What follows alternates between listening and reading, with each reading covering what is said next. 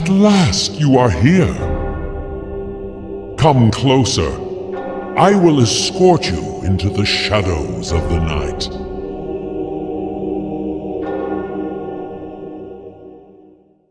Your time on this earth has come to an end. I have come for your soul. Whether you sing with the choir invisible or wail with the demons of the underworld, I care not.